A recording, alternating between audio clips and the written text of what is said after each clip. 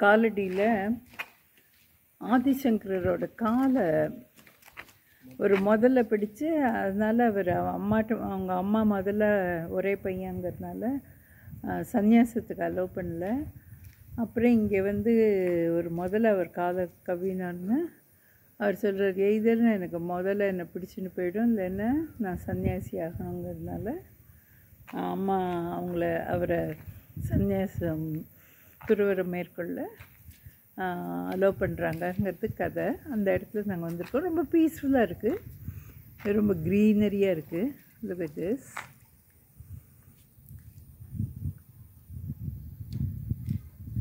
இது நான் ரொம்ப வருஷம் முன்னால் வந்திருக்கேன். ரொம்ப அழகான இடம்.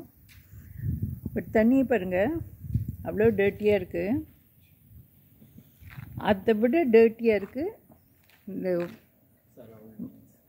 சரௌண்டிங்ஸ் பாருங்கள் யாரோ ஷர்ட்டை போட்டிருக்காங்க பாட்டிலு ட்ரிங்க்ஸு சாப்பிட்டுட்டு இப்படி பிளாஸ்டிக் பேக்கு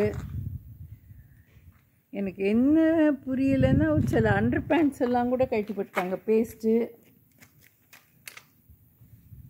ப்ரெஷ்ஷு நிறைய துணிகள் அங்கங்கே கிடக்கு. எனக்கு புரியவே இல்லை. ஏன் அப்படின்னுட்டு.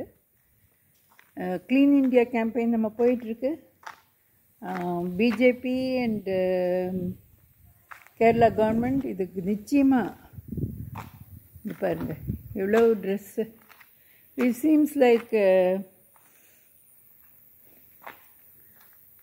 colour colour dhoti மாதிரி இருக்குது யார் எங்கேருந்து வந்தாங்கன்னு நான் சொல்ல விரும்பலை. ஆனால் எங்கேயாவது ட்ராவல் பண்ணிவிட்டு இங்கே வந்து இப்படி ஒரு ஐதீகம் இருக்கா? இங்கே எல்லாத்தையும் திறந்து போடணுன்னுட்டு எனக்கு தெரியல.